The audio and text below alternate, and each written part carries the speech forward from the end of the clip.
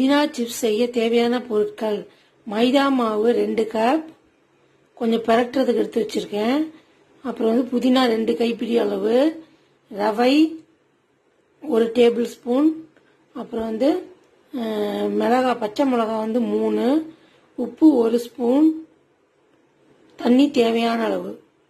இப்போ வாங்க எப்படி செஞ்சிடலான்றதை பார்த்துடலாம் ஒரு மிக்சி ஜாரில் ரவை ஒரு டேபிள் ஸ்பூன் கொட்டிக்கோங்க.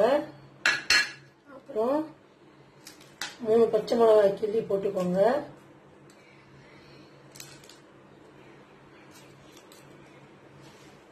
புதினா ரெண்டு கைப்பிடி அளவு.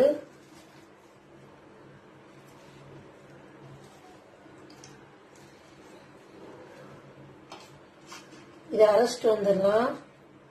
இப்போ ரெண்டு கப் மைதா மாவு எடுத்துக்கோங்க. ஒரு ஸ்பூன் உப்பு எடுத்துக்கோங்க. இதை கொட்டிக்கோங்க. கலந்துக்கலாம்.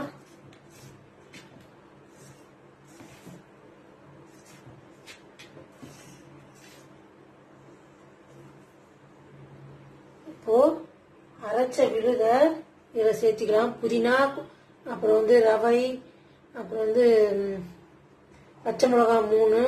இதெல்லாம் அரைச்சதை இதில் சேர்த்திக்கோங்க.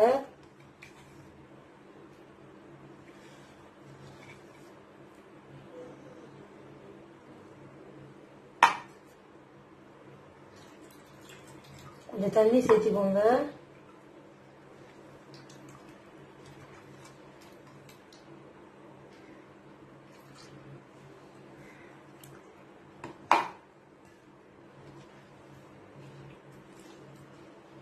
ரவை வந்து நல்லா நைஸ் ஆகணும் தான் இதோட சேர்த்து அரைச்சது.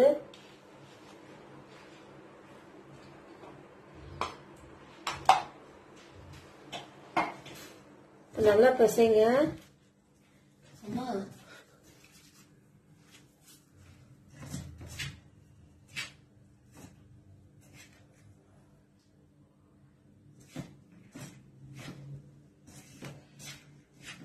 தண்ணி சேர்த்திக்கோங்க. கெட்டியாக பிசைஞ்சுக்கோங்க.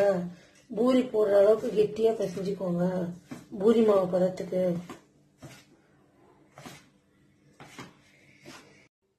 இப்போ எண்ணெய் ஒரு ஸ்பூன் அளவுக்கு ஊற்றிக்கோங்க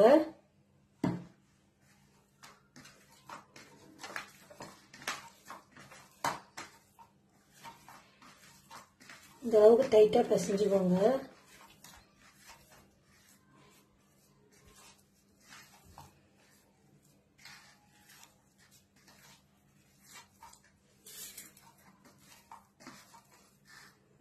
கொஞ்சம் மாவு சேர்த்திக்கோங்க ட்ரையாக தான் இருக்கணும். எண்ணெய் சேர்த்துனதுனால கொஞ்சம் எண்ணெய் இழுக்காமல் இருக்கும். அதுக்காக எண்ணெய் சேர்த்துனது. மற்றபடி ட்ரையாக தான் இருக்கணும். கொஞ்சம் மாவு சேர்த்து சேர்த்து ட்ரையாக ஆக்கிடுங்க. இப்போ இதை ஒ-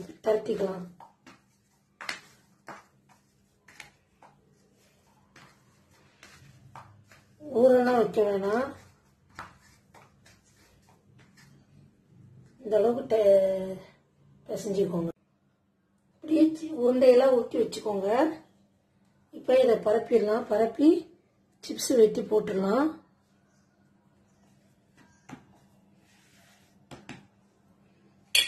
மாவு சேர்த்திக்கோங்க.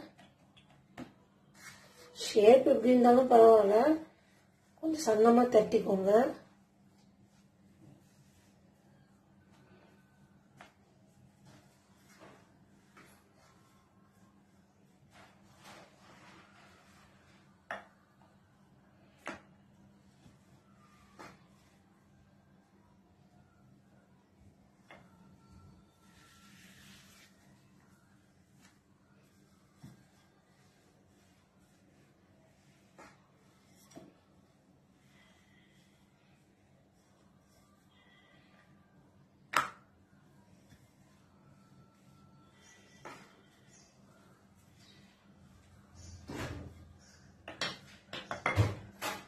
இந்த அளவுக்கு மெலிசா தட்டிக்கோங்க.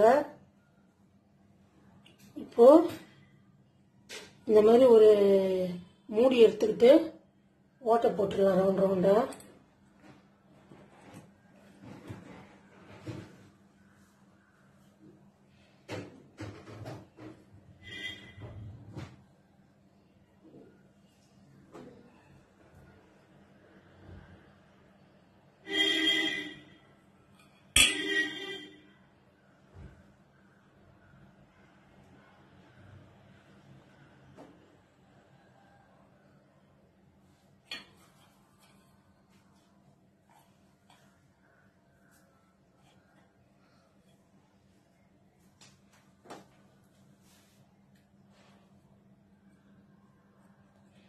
எல்லாத்தையும் சிப்ஸ் மாதிரி போட்டுக்கோங்க. சின்ன சின்ன ரவுண்டா இப்போ இதை பொரிச்சு எடுத்துடலாம். எண்ணெய் காஞ்சிருச்சு. இப்போ சிப்ஸை போட்டு எடுத்துடலாம்.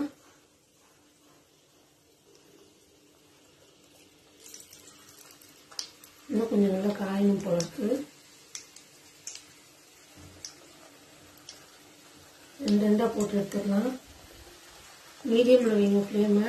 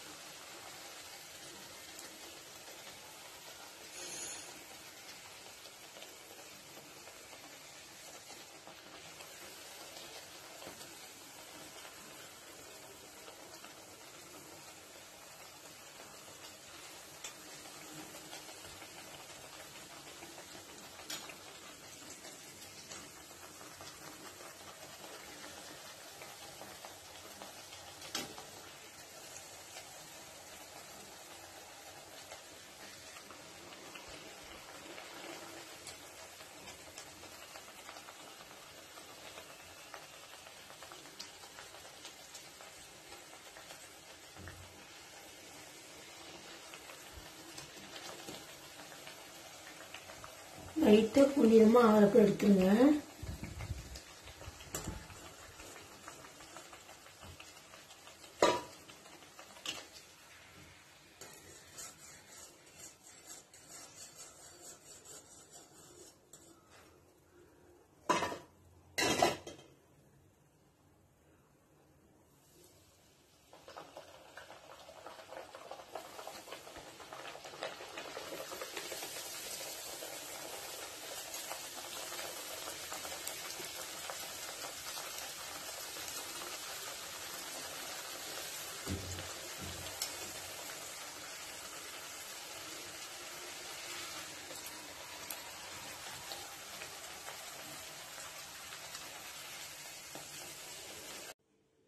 புதினா சிப்ஸ் ரெடி இப்போ இதில் சாட் மசாலா தூவி கொடுக்கலாம்.